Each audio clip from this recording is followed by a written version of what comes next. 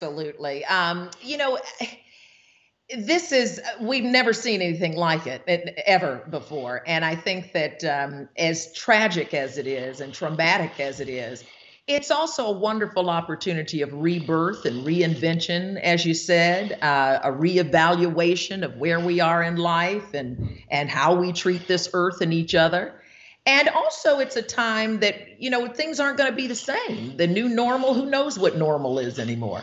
And our jobs are changing. Um, so I am real big on looking within yourself when all else out here is intangible and questionable, and we have no idea what's about to happen.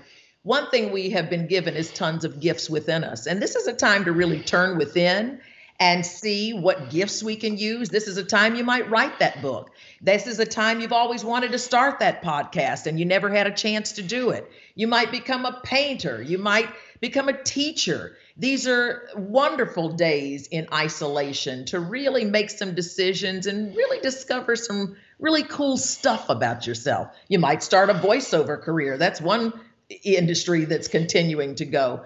But um, it's uh, a time of rebirth and renewal. And I think that reinvention is really uh, the word that I'm using to inspire people right now, including myself. We've talked about this.